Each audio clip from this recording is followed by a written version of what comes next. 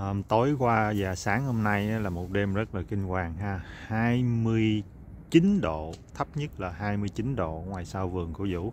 À, giữ khoảng chừng tầm 5 cho tới 6 tiếng đồng hồ vậy đó là tức nghĩa là à, lạnh à, đông đá mà còn dưới âm độ nữa đó cho nên à, đây che giống như là à, hát cải lương vậy đó ha nhưng mà chỉ là muốn che cho nó đừng có bị à, đông đá nó đừng có bị freeze thôi.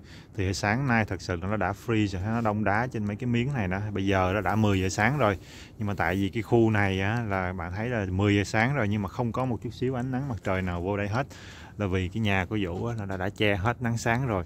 Cho nên đây là cái cái vùng lạnh trong cái khu vườn của mình nè khi mình trồng cây thì hôm qua là Vũ quên nói là mình phải biết là trong cái khu vườn của mình đó là có một cái vùng nào là vùng lạnh và vùng nào là vùng ấm ha. Đây là cái vùng lạnh nhất trong khu vườn của Vũ. Lúc nào cũng là à, lạnh lâu nhất là vì nó nó nó nó nằm không có ánh sáng buổi sáng nè ha. Mấy cây chuối nè nó ra bông nè hai cây chuối đều ra bông hết luôn, cái nụ bông nè. Cho nên vũ qua, vũ muốn lấy cái miếng này, vũ che lên trên, phía trên giống vậy thôi, cho nó đừng có bị đông đá cái cái cái bông thôi. Chứ còn mấy cái lá là nó nó tiêu hết rồi.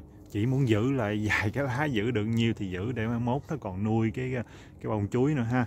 Rồi mận thì vũ cũng chỉ để cái dù thôi, để cho nó đừng có bị freeze thôi. Đó còn à, trong cái greenhouse của Vũ á cái greenhouse này thì không có chạy máy hít cho nên à, nó cũng không có ấm được gì hết nó cũng lạnh bằng ở bên ngoài thôi à.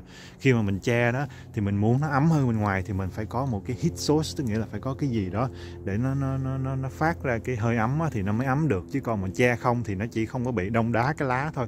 Nhưng không có nghĩa là cái nhiệt độ ở trong nó sẽ ấm hơn ở bên ngoài nó sẽ bằng ở bên ngoài thôi.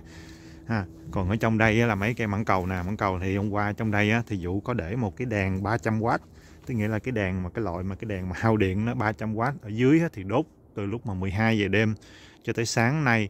Thì trong đây nó giữ được thêm cao hơn 7 độ, tức nghĩa là ở bên ngoài thì 29 trong đây thì giữ được 36 ha.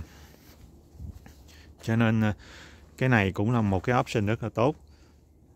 Đó, còn bên đây á, bên đây á là chỉ là phủ cái miếng này lên trên mấy cây, dưới đây có hai cái ỏi nhỏ à, cho nên muốn không không muốn đâu cái lá nó bị đông đá để nó năm sau nó có thể ờ, phục mùa xuân nó có thể phục hồi và nó có trái ờ, có trái sớm hơn.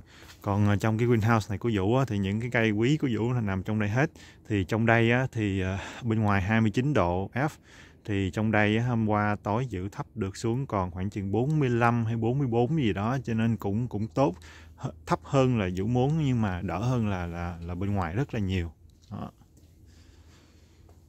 Rồi vậy thôi, à, mọi người trồng Arizona thì nên có cái cái đồ mà đo nhiệt độ đó ha.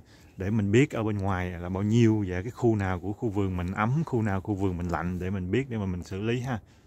Rồi, à, quên nhắc nhở mọi người là tối nay thì sẽ đỡ hơn. Nhưng mà tối thứ um, um, tối ờ, thứ năm á, rồi sáng thứ sáu á, sẽ có một đêm lạnh nữa dưới đông đá nữa ha. Cho nên mọi người ờ, cây nào nên che thì nên che đi nha. Rồi good luck. Bye bye.